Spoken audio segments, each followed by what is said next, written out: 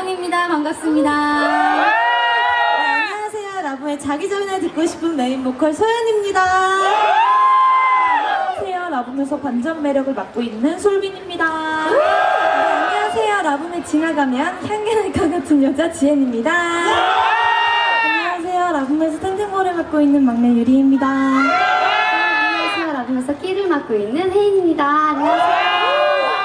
오늘 이렇게 C 페스티벌에 저희 라붐이 돼서 너무너무 기분이 좋네요. 여러분 반갑습니다.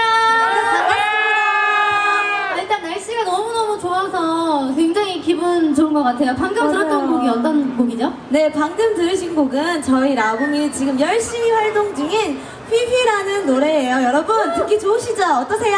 좋아요! 네, 감사합니다.